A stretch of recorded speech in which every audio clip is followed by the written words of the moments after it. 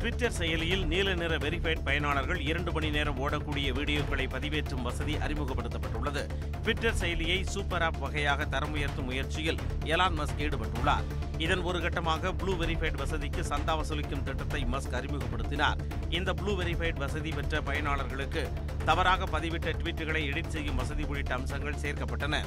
இதன் அடுத்த கட்டமாக ஒரு மணி நேரம் வரை வீடியோவை பதிவேற்றும் வசதியை ட்விட்டர் நிறுவனம் அண்மையில் அறிவித்திருந்தது. இந்த நிலையில் தற்போது அதனை இரட்டிப்பாக்கி மஸ்க் அறிவிப்பை வெளியிட்டிருக்கிறார். புதிய அறிவிப்பின் மூலம் எட்டு ஜிபி அளவு கொண்ட வீடியோக்களை நீல நிற வெரிஃபைட் சந்தாதாரர்கள் பதிவேற்றிக் கொள்ள இயலும்.